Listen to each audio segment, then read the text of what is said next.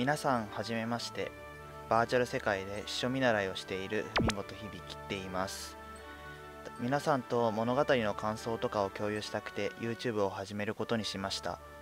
えって言ってもまだ秘書見習いなので皆さんからもいろんなことを教えてもらいたいなって思っています。まずは、えっと、僕のいろんなことを知ってもらうために自己紹介をしていこうと思います。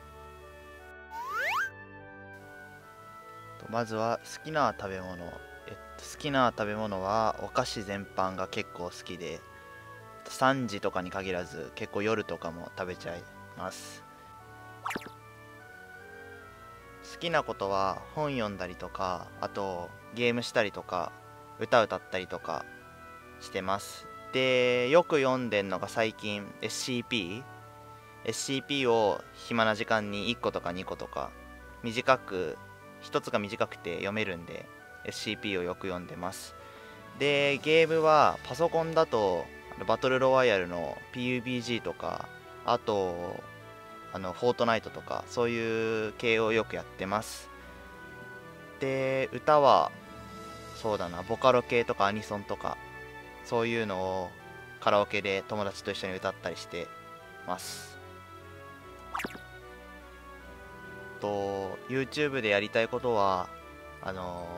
さっき言ったように本の紹介とかあと自分の好きな SCP の紹介とか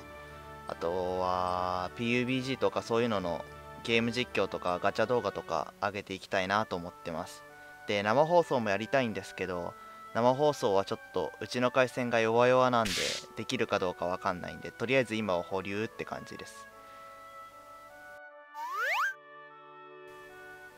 僕の紹介は以上です。気にな他にこういうのが気になるよとかあったら Twitter でマシュマロとか募集してるんで、えっと、そこに投げかけてくれれば多かったら動画で答えるし少なかったらまあ Twitter で答えていくんで、まあ、少しでも気になったら Twitter のフォローとチャンネル登録お願いします。